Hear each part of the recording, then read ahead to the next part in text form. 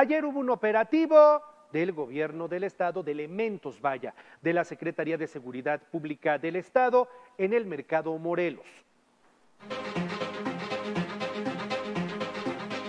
Cientos de elementos de la Policía Estatal realizaron un operativo en el Mercado Morelos, al norte de la ciudad. Decenas de patrullas de la Policía Estatal rodearon las inmediaciones del Mercado Morelos en busca de alguna actividad delictiva. Los uniformados recorrieron pasillo por pasillo y local por local. El objetivo del operativo era encontrar mercancía ilícita y estupefacientes. Mientras este operativo se llevaba a cabo, las actividades en el mercado seguían con normalidad. Sin embargo, los locatarios se quejaron porque consideran que esta revisión afecta sus ventas que ya de por sí están bajas por la contingencia ambiental. Pues denos, denos chance, denos la oportunidad de trabajar, déjenos la oportunidad de trabajar y nos vamos a apurar. que pasa, minutos nos perjudica Lo sabemos, nosotros. lo sabemos, pero también estamos trabajando nosotros. Exactamente. O sea, muy respetable su trabajo, pero también entiendan nosotros de este lado. trabajar, queremos trabajar.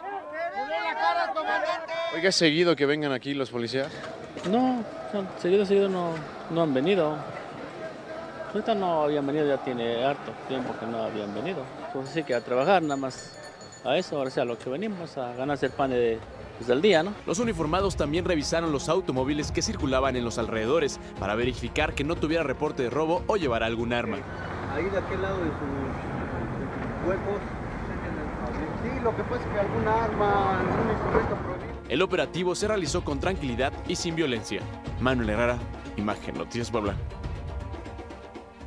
Al final de este operativo, con cientos de uniformados estatales, aseguraron medio kilo de drogas en uno de los locales. Ahí hallaron, por ejemplo, 182 gramos de cocaína, 60 de cristal, 182 de marihuana, además una báscula para pesar la droga. En el operativo también fue detenido Abraham, un hombre de 31 años que portaba un arma de fuego.